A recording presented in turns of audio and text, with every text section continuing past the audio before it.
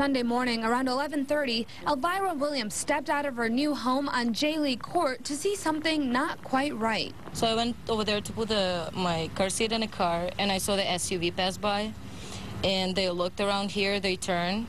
And that SUV was a police SUV? Yeah, it was police SUV. Police were called after a woman was threatened by a man with a knife. Investigators say the 67-year-old woman pulled into her driveway, walked down to the end of it to pick up her Sunday paper, and then began to enter her home. That's when she saw something out of the corner of her eye, a man standing there with a knife. Twice he demanded she give him her purse before the woman gave him some money, and then he took off running. Usually when something's going on, it happens at the nighttime when nobody can see.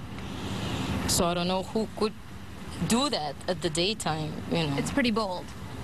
So, and, and it's scary too. New to the neighborhood, Williams says she'll be making some changes the next time she takes her child for a walk. We used to live in an Ypsilanti. It was more dangerous.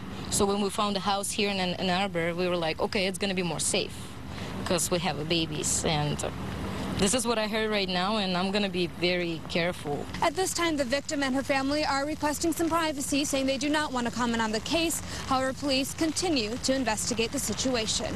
From Ann Arbor, Smita Kloki, 7 Action News.